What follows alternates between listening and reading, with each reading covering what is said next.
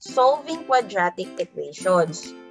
So we have four methods to determine the roots of the quadratic equation. So ano-ano yung apat na yon? We have extracting a square root, factoring, completing the square, and by using the quadratic formula. Tandaan ha, roots ang tawag sa value ng x na makukuha natin. Pwede din natin itong tawaging solution of the quadratic equation. Unahin natin ang solving quadratic equations by extracting a square root. In solving quadratic equations by extracting a square root, ito ina-apply natin if the quadratic equation has no middle term. Ibig sabihin, walang linear term. O yung b is equal to 0. Ibig sabihin, ang makikita na lang natin ay ang ax squared plus c is equal to 0. So, ano-anong mga halimbawa natin? Ayan. So, example nito ay ang mga sumusunod. Kung mapapansin nyo, ang mga common sa kanila ay yung exponent na 2 and then biglang constant term. Well, except dito sa ikaapat natin, i-elaborate natin ito mamaya. Let us have another example. So, tandaan, before we extract the square root of both sides of the quadratic equation, we need to transform ax squared plus c is equal to 0 sa x squared is equal to negative c over a. Sa x squared minus 16 is equal to 0, apply lang natin yung APE by adding positive 16 on both sides of the equation. So, makakancel sa left side and then may matitirang positive, positive 16 sa right side. We have x squared is equal to 16. Sa 4x squared minus 3 is equal to 0 naman, apply muna natin yung APE. Kaya naging 4x squared is equal to 3.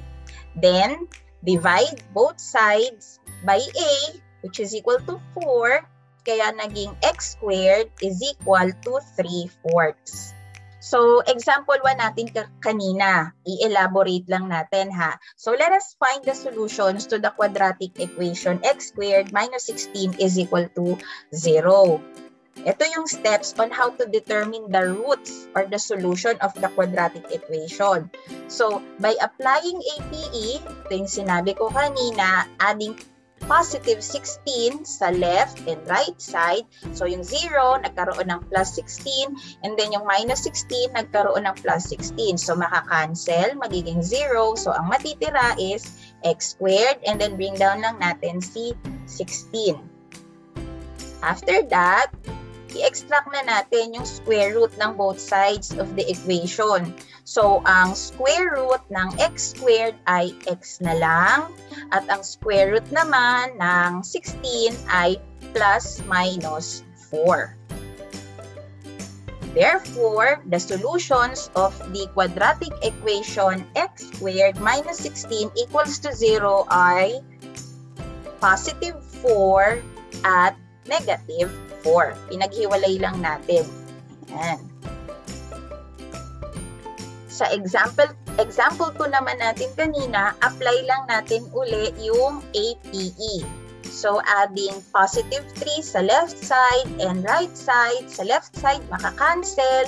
Kaya 4x squared na lang. And then dito sa right side, plus 3. Kaya siya naging ganyan. And then dividing both sides by 4. So we have 4 divided by 4 is 1, x squared na lang.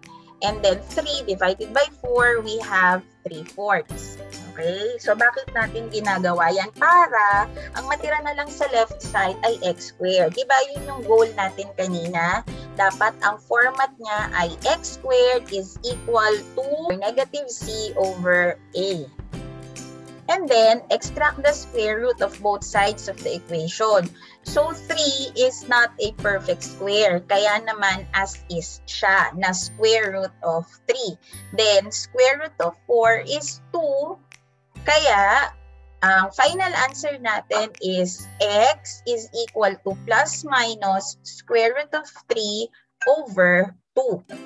Therefore, the roots of the quadratic equation 4x squared minus 3 is equal to 0, paghiwalayin lang natin ay positive square root of 3 over 2 and negative square root of 3 over 2.